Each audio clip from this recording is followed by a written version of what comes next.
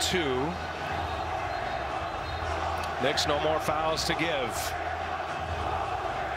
It's a 9-0 New York run to lead by nine with a minute 13 is Trae Young with a wry smile going up top and Hunter misses the reverse. Oh, the lob was perfectly set up. But another miss by Atlanta and the Knicks trying to put this one away as we go.